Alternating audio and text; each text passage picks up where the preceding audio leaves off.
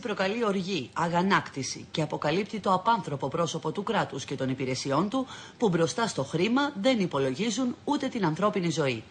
Πρωταγωνίστρια για ακόμη μία φορά σε ένα πρωτοφανές περιστατικό, ποια άλλη, η ΔΕΗ, η οποία χωρίς ίχνος ευαισθησίας έστειλε εργολάβους να κόψουν το ρεύμα σε νεφρολογική κλινική την ώρα που 11 ασθενείς έκαναν αιμοκάθαρση, θέτοντας έτσι σε άμεσο κίνδυνο την ίδια τους τη ζωή. Απλά, χωρίς ντροπή. Σοκ προκαλεί η περιγραφή του διευθυντή της μονάδας αιμοκάθαρσης της νεφρολογικής κλινικής Αρονικού, όπου συνέβη το απαράδεκτο γεγονός. Του ενημέρωσα σχετικά με αυτό και τους είπα ότι αν είναι δυνατόν να έρθουν αργότερα να κάνουν τη διακοπή για να ολοκληρώσουμε με ασφάλεια την αιμοκάθαρση των ασθενών. Αυτή τη στιγμή υπάρχουν ασθενείς μέσα; Βέβαια. Και την ώρα που έγινε η διακοπή του ρεύματος υπήρχαν ασθενείς; Βέβαια και ενημερώθηκαν οι υπάλληλοι. Οι υπάλληλοι που ήρθαν να κόψουν ενημερώθηκαν ότι υπάρχουν ασθενείς.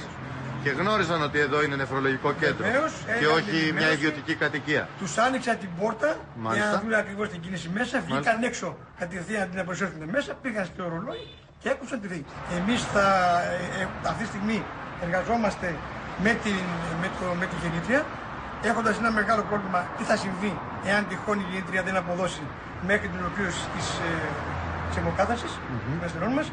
Και ο στόχος μας είναι να κάνουμε επικοινωνία με τη ΔΕΗ και να δούμε αν υπάρχει ανθρώπινος χαρακτήρας στη γραφειοκρατική διαδικασία την οποία αυτή τη στιγμή υλοποιούν συγκεκριμένοι υπάλληλοι.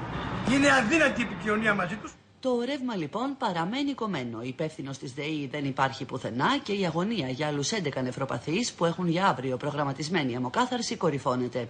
Η κλινική εκφράζει φόβους να προχωρήσει στις αιμοκαθάρσεις με τη γεννήτρια, ενώ λόγω και της γενικής αυριανής απεργίας οι νευροπαθείς δεν έχουν επιλογή να εξυπηρετηθούν σε κάποιο άλλο νοσοκομείο ή κέντρο.